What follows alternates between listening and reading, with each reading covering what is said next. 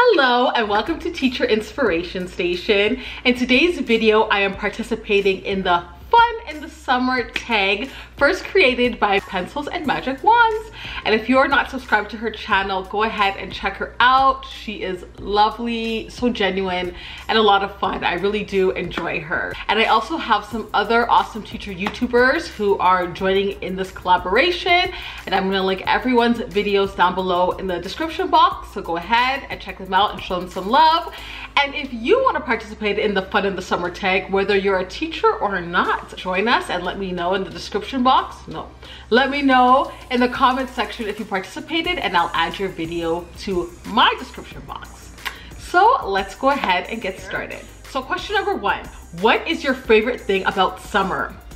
My favorite thing about summer is yes, the fact that I'm off, but one of the good things about being off is I get to stay up as late as I want watch Netflix, watch YouTube, do whatever I want, and I get to wake up late. So I just like, well, temporarily, I like being able to just wake up whenever time I want.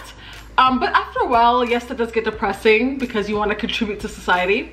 But um, yeah, it, I just, I just like the fact that I can go to bed anytime I want. I don't have to wake up for anything the next day. And I also like the fact that days are longer. So it could be eight o'clock at night and there's still daylight. So I can leave the house late. I can leave the house at three o'clock and I still have some daylight. You know what I mean? As opposed to like it gets dark at five and like in the winter time and then you just it's just depressing you know what i mean? Like being out in the dark when it's really not even late. So i like that. Being able to wake up when i want and the days are just longer. Question number two. How do you typically spend your summer days? Honestly i don't really do much. I lounge around the house um, a lot of my friends are teachers so we'll hang out we'll go for dinner or lunch or ice cream or just hang out. And yeah i just i don't really there's nothing i can say I specifically do during the summer. Like i just i just hang out at home. I like being home. I do like going out too, but I just I hang out at home um, a lot. Question number three: um, What are your go-to summer activities and or places to visit? Every summer I go to a place called the Canadian National Exhibition, the CNE, and that just marks off the end of summer. So it opens up, I think, the last week of August, and it's back to school the next couple of days. So yeah, it just really is like a tradition in Toronto, and that just marks the end of the summer and school starting. But I love it. They have rides, they have games. It's like a little fair I guess, or an amusement park. They have like shops and they have like weird foods and they always like to attract people every year with the weird foods. Like they've had deep fried Mars bars. They've had uh, donut hamburgers where it's just like two donuts and a hamburger patty in the middle. I tried it. It, it, it ain't all that. It ain't all that. But they have that. Um, once they had peanut butter and jelly pork sandwiches and um, like ice cream bars dipped in 24 karat gold sheets or something. Yeah, so they have the, the little fun, unique foods when you go there. Um, but it's a lot of fun. And yeah, and that's one of those things that people go do multiple times in that week. Like you might go on a Monday, then you'll go again on the Wednesday, then you'll go with your, and you go with different sets of people. Like I'll go with like my, you know, husband and my kids, and then another time I'll go with my mom and my sisters and my brother, and then another time I'll go with my friends. Like you go multiple times within that week, or I think it's just a week. It's open for like a week. Anyway, I, I enjoyed this CNE. Question number four, beach or swimming pool? Definitely the beach. It's been a minute since I've been on the beach, but I love the beach. Question number five, what is your favorite ice cream flavor? Woo! Okay, so I've been hitting up Baskin Robbins lately and you walk in the store and the smell is just like, oh, it just smells like heaven. And that's how I imagine heaven would smell like. It smells so good.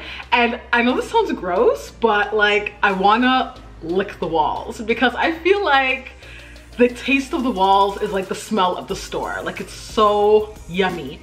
And I always get, I, I don't like to branch out and try different things because I know what I like. I like the Rocky Road ice cream. So it's chocolate mixed with nuts and marshmallows. And it is so good. Another ice cream that I really like is Marble Slab Creamery. if you don't know marble slab so you you go there and you get your ice cream and they have these like plates which are like they're like i don't know stoves they're warm and they put your ice cream on it and they kind of warm it up so it gets nice and soft and then you can add any kind of toppings you want and like any topping you could think of they have. They have Skor bits they have oreos sprinkles marshmallows all these toppings. So my go-to is french vanilla ice cream they warm it up for me and then they add some gummy bears, some sprinkles, and some Oreo bits. And if I'm feeling kind of, you know, adventurous, I'll add some peanuts in the mix. And it's so good. But it's one of those, it's, expensive ice cream. It's like $8. So if I'm bringing the family, it's gonna be like 50 bucks on ice cream. So really I just go by myself or I can go with a friend or my husband or whatever. It's not, it's not a family treat, you know? yeah, it's expensive, but it's so good. Oh God, okay. I don't really have a sweet tooth. Like, I know it sounds like I do because I'm going on about the ice cream, but I'm more of a, I'm more of a savory person. I do like my chips. I do like my, you know, carbs and salt. But yeah, I, I do, I do like marble slab and, and Baskin Robbins. Okay, what is your summertime song? I don't have a summertime song honestly, I play Christmas music any time of the year. I jam to Pentatonix's Christmas album any time of the year. Uh, yeah, I can't say I have a summer song.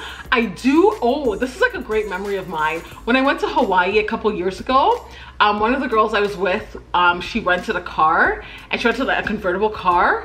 And I remember listening to the radio and jamming to 90s R&B. Like it was just like an old school station. And that was a good time. So yeah, I guess I, I like anything really, but I don't, I wouldn't say I have a song. summertime movie? I don't have a summertime movie. I have winter movies, movies that I watch every winter, Sound of Music, Frosty the Snowman, Rudolph Red-Nosed Reindeer. Uh, what do you call that one? Oh, what's that one with Ralph? And you're gonna shoot your eye out. A Christmas Story. Uh, yeah, those I watch every year, but I don't have summer movies. I don't. Um, what are your Netflix summertime viewing plans? Which shows or movies do you plan to watch? Oh my goodness, what is that movie? The movie about those boys that, oh my goodness, hold on. I really want to see that docu-series When They See Us. I really want to watch it. I haven't had time to watch it, but that is definitely something on my list of shows to watch. I was into Suits, but you know, I, I really liked Suits. And then you know how they you've watched all the episodes and they haven't uploaded the full season and so for months for months for months i haven't watched it and then they brought it back but then i don't remember what happened. And i'm just not as invested in the show. Like when you take such a long break you don't you're just not as connected. You don't remember what happened. So i i hope that i can get connected back to that show because i really liked it and Jane the Virgin, again, same kind of deal. I'm just not as invested in the show. I forced myself to watch, but those are shows I really, really liked. So hopefully I can get back on track with those and find some new favorites. But definitely When They See Us is on my list of movies to watch. Nine, what books are on your summertime reading list? I really want to read Michelle Obama's book, Becoming. Everyone and their mama has read that book, including my mama. So she has a copy, but she's kind of particular about her books. Like she just likes to keep her stuff. So I may just get a copy at the bookstore and yeah, I, I do want to see that one. I do want to read that book. So that's on my list of books to read this summer. What are your must-have um, essential items for the summer? I must have air conditioning. I hate being hot. And in Toronto, summer, actually we haven't really had a hot summer so far. Summer hasn't officially started, but usually it would be really hot right now and it hasn't been that hot. But I, I hate, I hate being hot. I hate sweating. I hate the humidity. So I need air conditioning in my life. And I also need hydrocortisone cream for my rashes that I develop in the summertime. Those heat rashes, I get them here, I get them on my neck, get them behind my knees. So I do, I know they're bad for you. The, the what do you call it? The steroids in it are really bad and you shouldn't use too much of it. So I try not to use too much, but I do have to keep it under control. So yeah, those are my must-haves. AC and some hydrocortisone cream. Mm. Any teaching goals or projects you hope to accomplish over the summer? I really want to focus on my YouTube channel. Um, just brainstorming ideas because I have the time, right? Like, and I have time to kind of push out videos every other day or because I'm, I'm not really doing anything else. So I do want to focus on my channel and I want to focus on developing a my science program because I feel like I can do better with my science. I feel like I can do a bit more hands-on activities and we have these kits that the board has where you can order kits and they have different equipment and things. I, I want to look into that. Really, really, really make it a bit more enriching and, and yeah. I, I, I, I can do better. I can do better with my science program. So those, those are my focuses for the summer as far as um, my teaching goals and my project. Um, any professional development plans, again, the science, focusing on that. And I work, I went on a, oh my goodness, my legs asleep. Whew. I went on a workshop recently on the five pillars of literacy. And I'm actually supposed to go back and, uh, you know, share with my colleagues on what we learned, but it's June and people are pretty much done. So definitely in September, me and my colleagues are gonna, the, the others I went with, we're gonna do little workshops on those. But I want to dive deeper in that. I mean, there was other I'm one of those people that like, if I don't study something, it doesn't really stick. Because there was more to that workshop besides the five pillars of literacy. And if, if you were to ask me what else did they talk about, like I'm just like, I don't remember. But I did take notes and I will review that and I'll share with you because there was some really valuable information in there. Um, 13, um, when do you start preparing to go back to school? When is your first day back?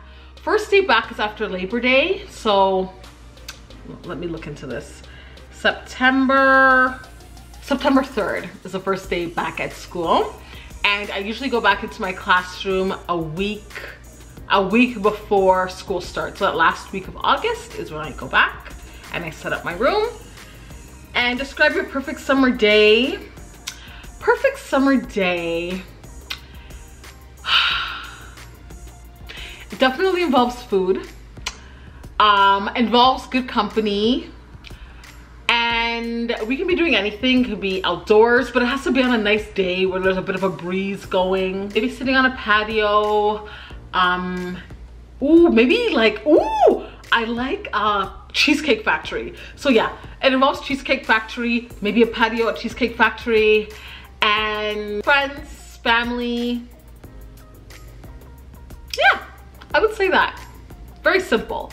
Yeah i know i didn't describe my perfect summer day but usually being around people that I love and I enjoy their company and just eating.